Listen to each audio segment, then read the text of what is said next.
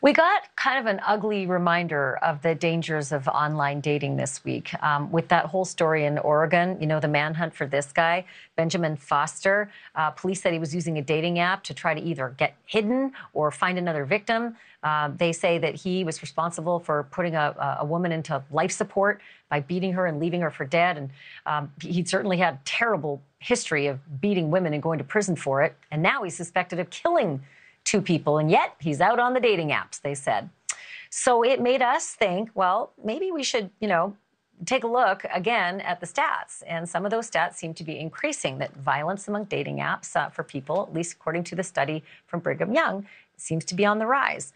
Uh, Rania Mankarious knows all about the trend because she's seen the numbers and she's seen the people behind the ugly stats. She's the CEO of Crime Stoppers in Houston, and she's the author of The Online World What You Think You Know and What You Don't. Rania, thanks for being um, with us because I think it's really important just to revisit the whole dating app thing. I mean, it's really ubiquitous, but there's some stuff that you suggest that I had never heard before. Create a new profile picture just for that app as opposed to use the same profile picture for all. Why is that? Yeah, Ashleigh, what we want you to do is make yourself hard to find in a way. You know, don't use the same social media picture you use. You know, p- people use their business profile pictures. We don't want you to do that. We also want you to create a completely separate email account. We don't want you to be engaged with somebody that has access to your work email. If they start harassing you or emailing you repeatedly, you want to be able to cut them off or create some distance. These are, you know, minor things, but I'm surprised that people people don't think about adding these safeguards and we want them to think about that before they jump on these dating apps. Okay, good advice. Uh, then, just to find out who, you know, if they are who they say they are, you say that you should Tinder verifies users, but that you need to do your own due diligence. What kind of due diligence um, should people be doing? Listen, we want you to become a private investigator at this point. Yes, Tinder verifies users. Match works with uh, a nonprofit company to do background checks. But if you've made a connection and you're interested in taking it a step further, do your due diligence. Research as much as you can. Go on social media. Try to find this person. Reverse image search. Make sure there's no other dating profile with the same image but a different name. Uh, we want you to consider doing a virtual call with somebody before you actually take the time to meet them in person. Listen, it's not that we want you to enter the space being paranoid, but the numbers verify, the numbers justify us putting in that effort to make sure that we're connecting with somebody we think we're connecting with and somebody who's safe to be connecting with. Yeah, I mean, in the old days, you'd be meeting in a bar and you might meet one or two, but if you're able to meet, you know, 50 a week, uh, the, the, the law of averages suggests there might be somebody a little more dangerous in that pool. Okay, about that first meeting, we've always heard pick a public spot. That's kind of old advice that is great advice, but there's other advice that you recommend for that first in person meeting. What is it?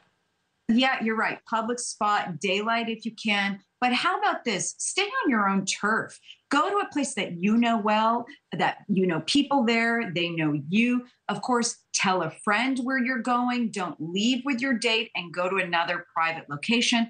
Um, but how another thing to consider share your location with somebody you know, whether it's a best friend, a friend, a family member, for the duration of that date. Just share your location so somebody can be watching where you're going. You know, if you've switched locations, use your own transportation and then stay sober. This is really important. You know, things people don't think about. We want you to go out again, meet people, and have a wonderful time, but we want you to do whatever you can to keep yourself safe in the process. I like that. Stay sober, very important. Okay, and then just about the romance scams. This isn't on the violent side, but it can be life altering. Uh, it's $500 million in 2021. Uh, what are the red flags for anybody out there who uh, wants to know in advance what they need to think about? listen when you're you're eager to make a connection we we all want to connect with somebody but if the person on the other line is always in crisis uh, they need money they need you to help them uh, navigate something that requires finances, if they want to marry you so quickly, if they need money for a plane ticket to come see you, those are things to be wary of. Listen, there are other things. There are users, we've actually studied this, well, they'll say, look, I'm warning you. Um, people have fallen, you know, I, have given people a hard time at points, and you're you're sitting here connecting and you're kind of overlooking that. Trust your gut. Read the signs. If there's crisis, they want money. Uh, they're warning you. They talk about emotions quickly or talk about an ex all the time. Those are things to maybe make you pause. Thank you for watching. Go to newsnationnow.com to find News Nation on your television provider. And don't forget to click the red subscribe button below to get more of News Nation's fact driven, unbiased coverage.